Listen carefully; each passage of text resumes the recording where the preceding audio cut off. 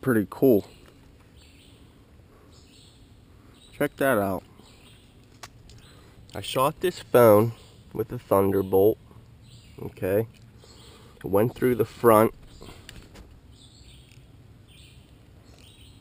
went through the back of the screen. It went through the back.